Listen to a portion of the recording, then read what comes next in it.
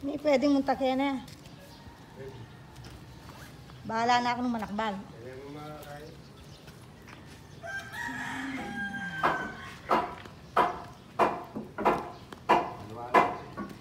Masas na yun eh.